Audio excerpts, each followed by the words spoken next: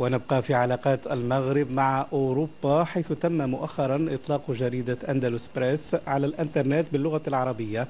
ما خلف ارتياحا كبيرا لدى الجالية العربية والإسلامية بالجارة الإسبانية التي يفوق عدد أفرادها مليون شخص حول هذا المشروع الهام الذي يقف وراءه الزميل حسن إدان نتابع روبورتاج من اليحيوي أخيرا أسبح للعرب المقيمين بإسبانيا جريدة إلكترونية.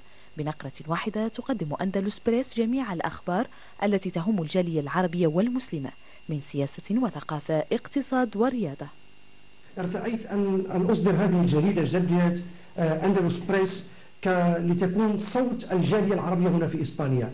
ليس فقط للجالية التي تعيش في إسبانيا وإنما كذلك كجسر للتواصل بين إسبانيا وبين العالمين العربي والإسلامي.